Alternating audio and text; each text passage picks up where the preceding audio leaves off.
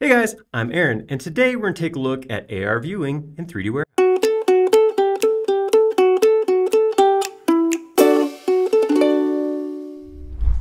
So we've done a handful of videos on 3D Warehouse over the years uh, showing how to use it, um, some new features, and this is a new feature that I'm super excited about. It's the ability to view items from 3D Warehouse in real space, in AR.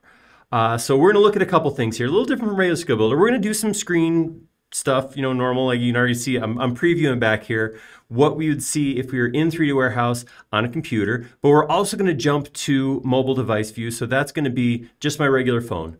Uh, we're going to talk about using different uh, devices to view in AR, but what you're going to actually see is nothing special, just my regular everyday phone. Let's hop in and take a look.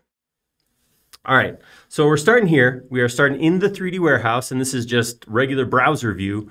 Uh, we're not going to go through all this stuff. We've, we've done this in other videos, but the new thing, the thing we want to look at is right here, view in AR. So I still have the ability to view the 3D model here, download it into my SketchUp model or to my desktop or whatever I want to do, but this new button is view in AR. So now, again, I'm looking at this right now on my regular desktop computer or laptop. If I click view in AR, I don't have, you know, a camera or I'm not going to actually view AR right here. So when I click view in AR when I'm on my computer, it gives me this QR code. This QR code can be pulled up on or scanned on a mobile device and it will take you immediately into the VR viewer for this product.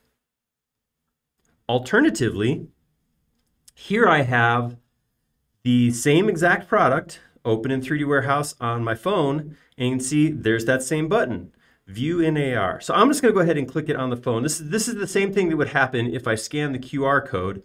It will bring up this viewer. So you can see immediately what it did is it started scanning the studio, place that I'm recording in, and it dropped my product right there on the ground. This is awesome. This is coming in automatically full scale, one to one scale, and it's using my camera on my phone to figure out where the space is and drop it where it thinks I want it to go.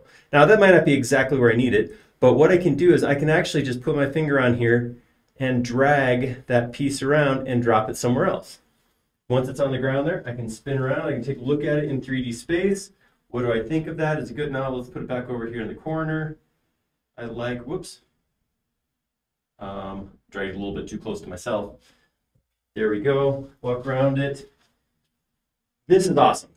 This means I can take my models, I can take my products, and I can put them right in the real space using just the hardware I already have, just my phone. That's all I'm looking at this with.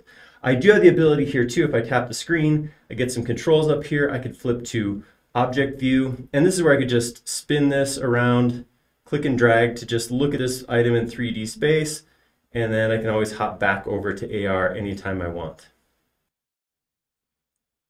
And that's all there is to it. I know uh, a lot of times in these videos we try to get a little bit deeper and like click, click, click and, and, and talk about how to uh, you know dive deep into doing this. But that's kind of one of the cool things. I know I'm sounding salesy here. I'm sorry guys, but it really is one of the cool things is it's that simple. Once you get in there, you just drop the product in real space and look at it. Take a picture, uh, record your screen, whatever you need to do, and you can actually explore that piece right there in real space. Uh, check it out. Go to 3D Warehouse and pull up a product. Click on it in your screen. You'll get that QR code that you can scan or pull it up on your mobile device directly and jump right into AR.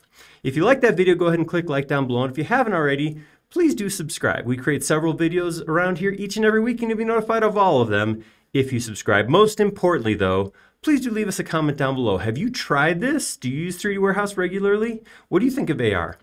We like making these videos a lot. We like them even more when they're showing something you want to see. Thank you.